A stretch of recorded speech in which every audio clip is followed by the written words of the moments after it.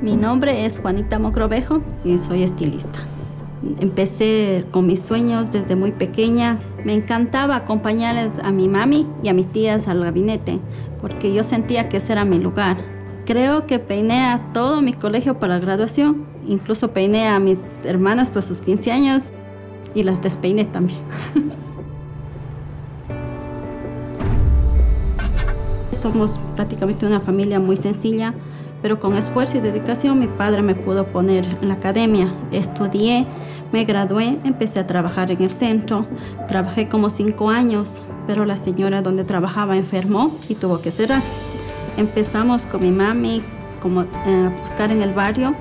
Mi mami me decía, aquí en el barrio no hay locales, no hay gabinetes. Ahí en la casa, mire, es un buen lugar, está al lado de una escuela, puedes empezar el local va porque va, ¿no? Y digo, mami, pero te vas a quedar sin sala, no importa, ¿dónde vas a recibir a los clientes? Ahí, ahí los recibes.